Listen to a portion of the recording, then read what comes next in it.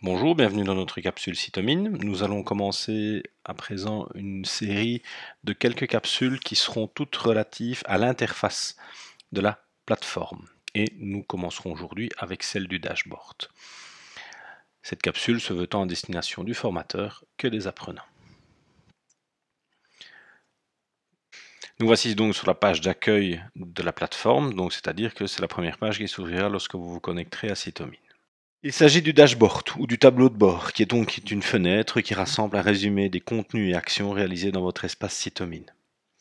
Dans la première ligne, Shortcuts, vous disposez d'un raccourci vers un projet ou vers une image en particulier. Dans la seconde ligne, vous avez accès à vos statistiques personnelles.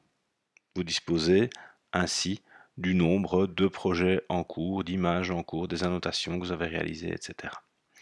Le lien en bleu Project au bout de la ligne vous amène directement vers la page projet euh, que nous allons découvrir dans un instant. La liste Last Opened Image euh, vous donne un accès direct vers les dernières images sur lesquelles vous avez travaillé. Idem même chose, Last Opened Project vous donne un accès direct vers les dernières pages projet sur lesquelles vous avez travaillé.